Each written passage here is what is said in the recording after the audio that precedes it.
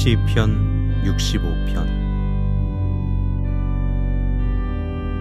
하나님이여 찬송이 시온에서 주를 기다리오며 사람이 서원을 주께 이행하리이다.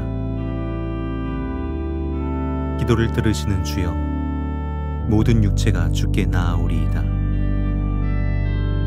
죄악이 나를 이겼사오니 우리의 허물을 주께서 사하시리이다 주께서 택하시고 가까이 오게 하사 주의 뜰에 살게 하신 사람은 복이 있나이다. 우리가 주의 집, 곧 주의 성전의 아름다움으로 만족하리이다.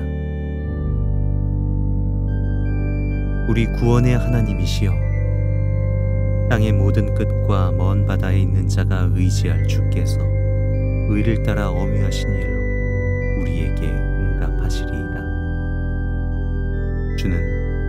주의 힘으로 산을 세우시며 권능으로 띠를 띠시며 바다의 설렘과 물결의 흔들림과 만민의 소유까지 진정하시나이다.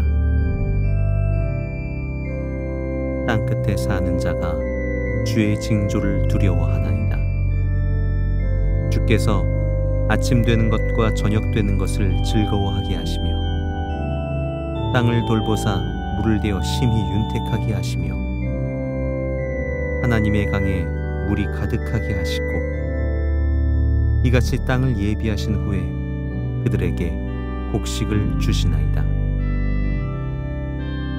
주께서 밭고랑에 물을 넉넉히 대사 그 이랑을 평평하게 하시며 또 단비로 부드럽게 하시고 그 싹에 복을 주시나이다.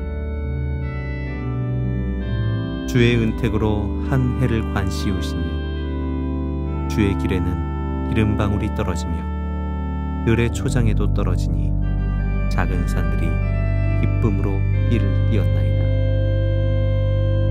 초장은 양떼로 옷 입었고 골짜기는 곡식으로 덮였음에 그들이 다 즐거이 외치고 또 노래하나이다.